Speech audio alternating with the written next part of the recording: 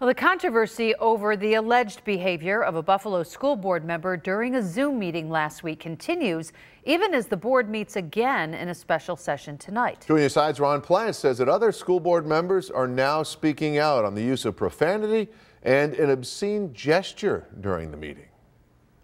Once I realized, you know, that it was directed at me, I, I was just kind of shocked.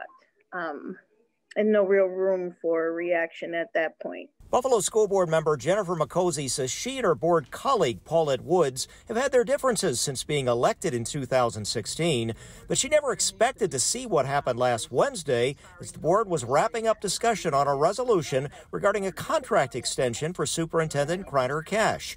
The Zoom square for Woods is now blurred out in what we can show you, but board member Larry Scott breaks in to describe it. We have a board member that's giving people little finger on a screen. Sorry? What? There was a board member that was just swearing and giving the middle finger to everybody on the screen. Woods declined an interview and did not return my call today, but she did say by phone yesterday that the claims about her behavior were unfounded and slanderous, and she was only reaching for a glass of cranberry juice at the time. She also said she was considering legal action against Scott. To claim that it's slander, to claim that she's going to take legal action on me, um, is just to completely absurd to me. Uh, there's there's not much else I can I can say to that. That I mean the the behavior that occurred is very clear.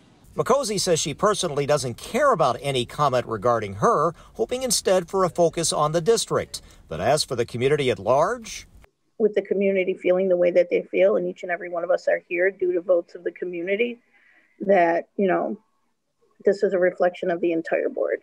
And we need to we need that to be public and apologies or statements well the school board president sharon belton cottman did not return my messages again today.